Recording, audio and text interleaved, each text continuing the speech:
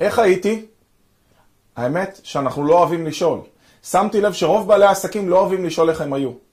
עם זאת, 96% מהלקוחות, לפי סטטיסטיקה, לא מתלוננים. הם פשוט לא עושים יותר עסקים מאותו עסק שהם לא היו ממש מרוצים. זה לא נכון לחשוב שהלקוחות מתלוננים, למעשה רק קומץ לקוחות באמת באים ומתלוננים. הדרך הבטוחה להצמיח את הארגון ולהרחיב אותו, היא ללמוד מהשגיאות.